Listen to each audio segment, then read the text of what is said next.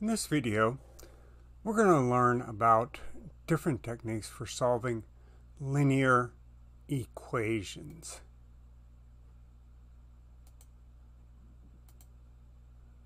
So let's start with some zero-step equations and see what kind of solution sets we might get.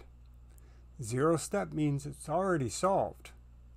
What do we mean by the solution set? The solution set is the set of all values which can be used for the variable and which result in a true statement.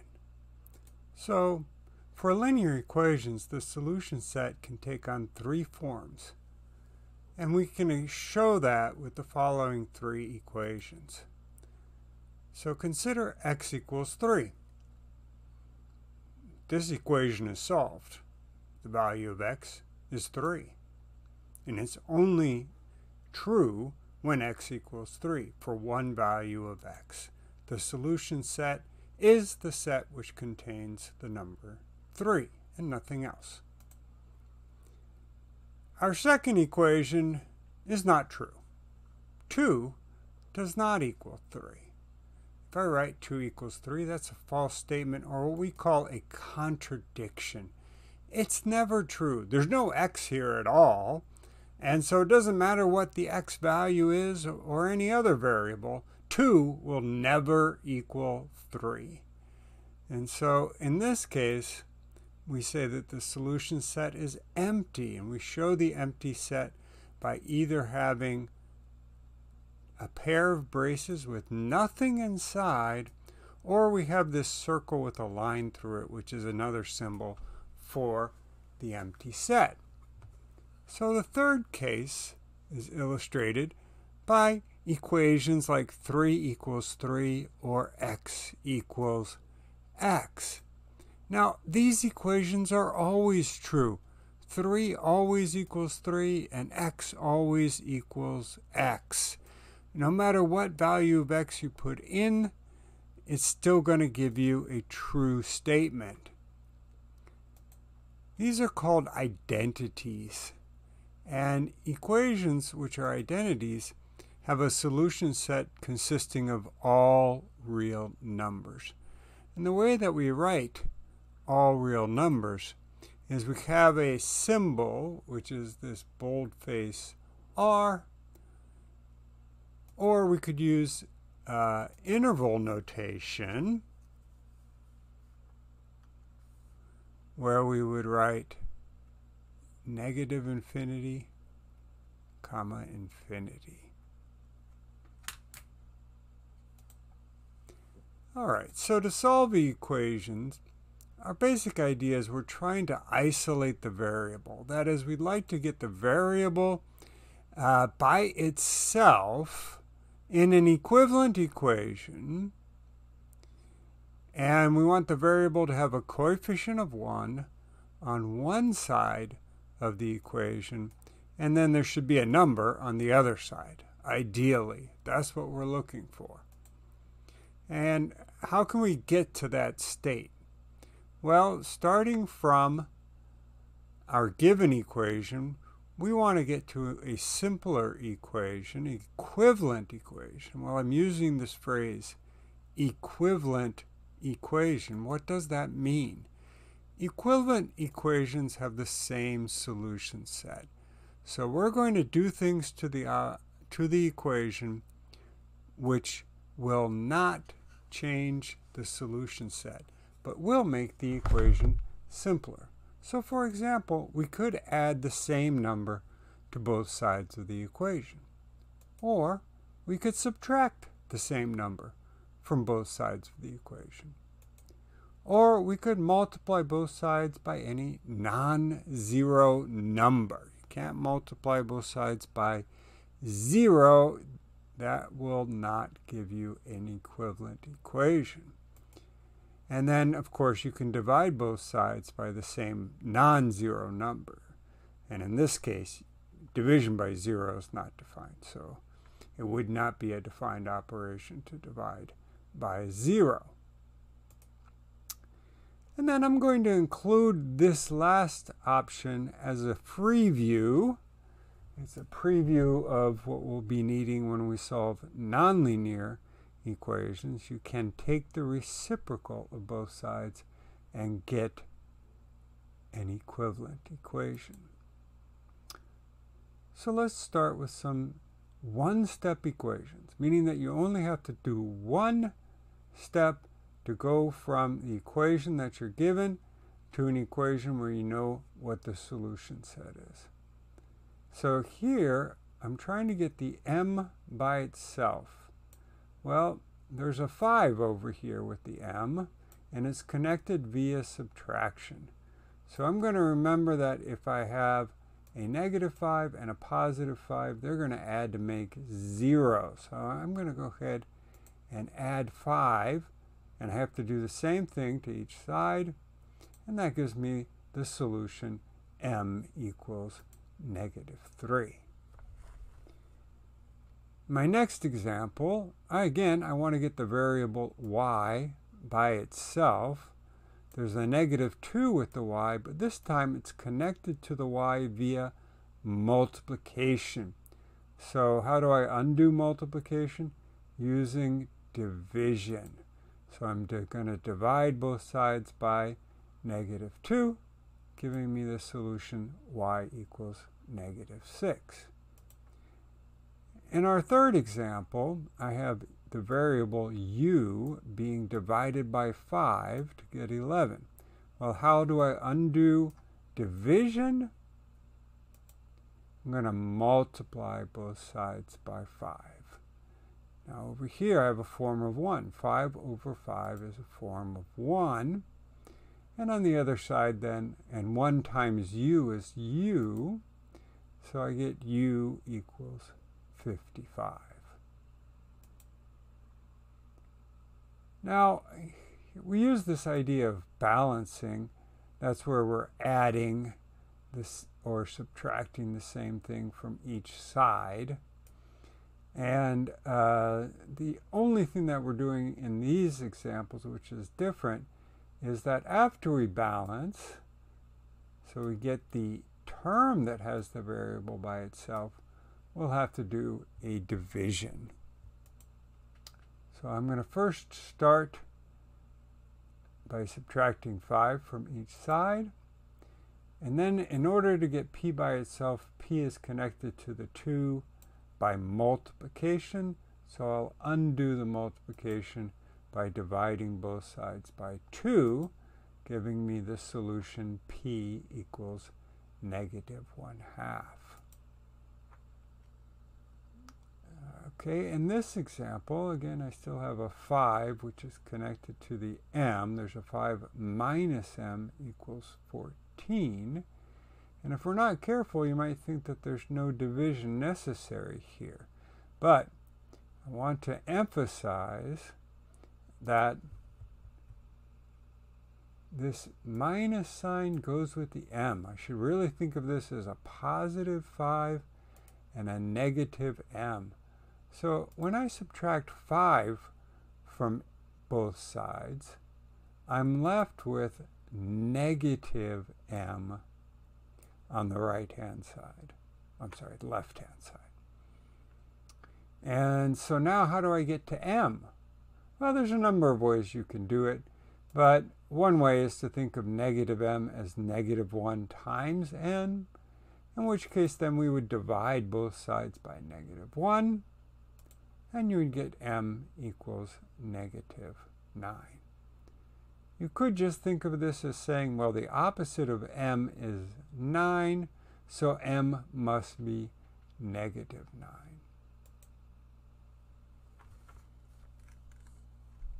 In the next example, I have a negative 3h and a negative 3 equaling negative 8.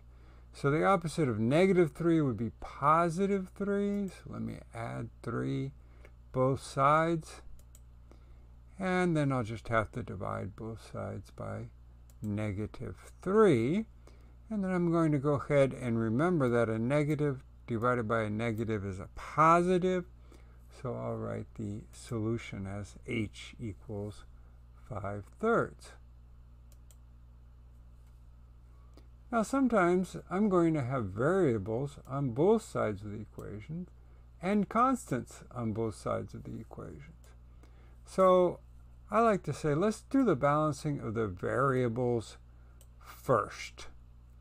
And part of that reason is that ideally you always prefer to have a positive coefficient on your variable. It just minimizes the opportunity for mistakes. So in our example 7, we're going to start by subtracting m from each side. Now I'm, remember the minus sign goes with the 2, so I'm left with negative 2 on the right hand side. And now I'll add 5 to each side. And that gives me 2m equals 3. The last step will be to divide both sides by 2. So m equals 3 halves. Now, I don't always have to wind up with my variable on the left-hand side. It just has to be by itself on one side of the equation.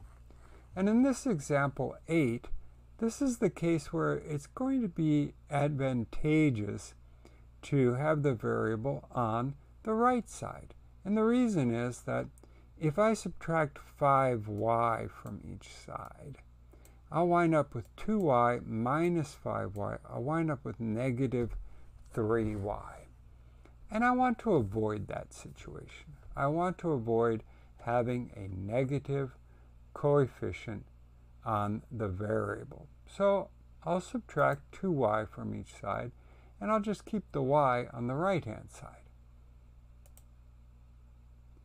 So now I want to get the constants on the left-hand side. So the 3y has a plus 2, so uh, the opposite of plus 2 would be minus 2. So I'll go ahead and subtract 2 from each side. Now I have 3y equals 8. My last step will be to divide both sides by 3.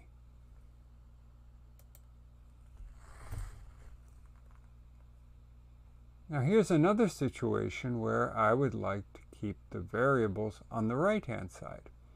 And big part of the reason is because I have a negative 9c on the left so if I were to subtract 3c from each side, I would wind up again with a negative coefficient on the c. So instead of subtracting 3c, I'm going to add 9c to each side. So that leaves me with 4 on the left-hand side, and now I have 12c minus 11. So let me go ahead and add 11 to each side. So 12c equals 15 divide by 12, now I get 15 over 12, and whenever I write down an answer, which is a common fraction, I would like to write it in simplest form. So I can actually factor those as 3 times 5 and 3 times 4. The 3 over 3 is a form of 1. And so uh, that divides out and I'm left with 5 fourths. Now, here we can have some multi-step equations. That is, steps where we have to remove parentheses and collect like terms before we even start balancing. So what I like to do is to say, well, if we see that we have parentheses to remove or like terms on the same side of the equation, we are going to temporarily forget that we are solving equations and focus on just one side of the equation at a time until we have collected all the like terms, removed all the parentheses. So for example, in this equation, I'm going to ignore or cover up or temporarily ignore the equals 2m plus 4. So I've kind of graded out here. If I were doing this on the board, I may cover it with my arm and just say, let's remove the parentheses. And when I'm removing the parentheses, remember that this, I think of this as negative 5 times m. That gives me negative 5m. Negative 5 times negative 3 gives me positive 15. So I've removed the parentheses. I'm forgetting about this being an equation for right now. Now there are some like terms, so let's go ahead and collect the like terms.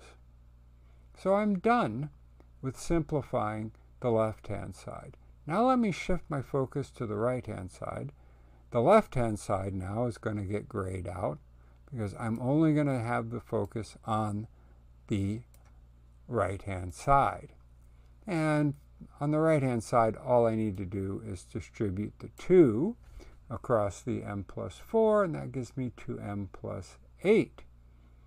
Now I'm done simplifying. Now I think about this as an equation and start my balancing. So I want to get the m's on one side. Uh, so I am going to subtract m from each side. And then I want to get the constants on the left-hand side. So the m has a plus 8 with it, so I'll subtract 8 from each side, giving me the solution m equals 10. Let's look at another example, very similar to the other one. This time I don't have parentheses on the right-hand side, but I do have like terms. But again, I'm going to start on the left-hand side.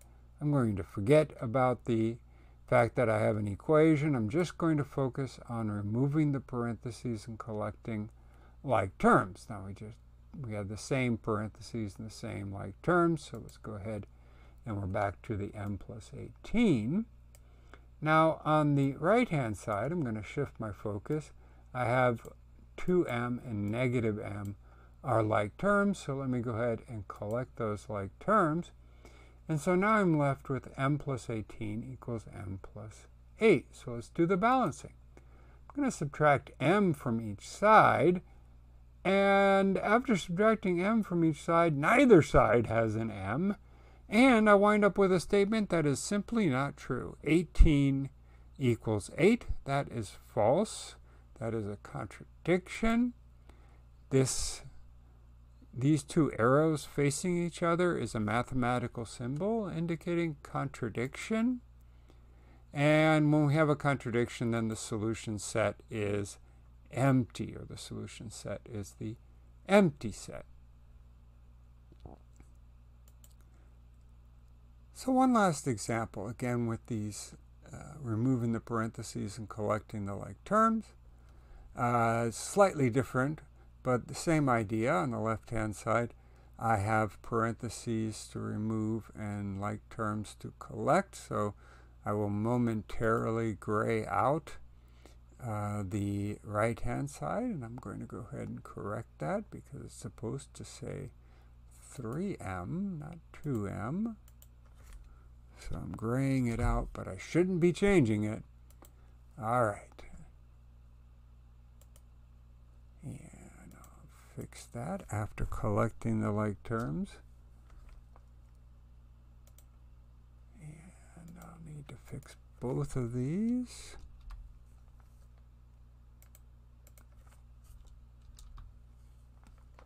All right, now I'm shifting my focus back to the correct uh, right-hand side. Now collect the like terms. I have a 3m and a minus 2m. And so that's going to get me an m plus 8. So I have m plus 8 equals m plus 8. I could probably stop at this point, but maybe I'll just try the balancing anyway. When I subtract m from each side, again, there's no m left, but now I'm left with a true statement. This is always true. Remember, we call that an identity. And if we get to an identity when solving an equation, that means that it does not matter what value of m I put in, I will always get a true statement, which means that the solution set is all real numbers.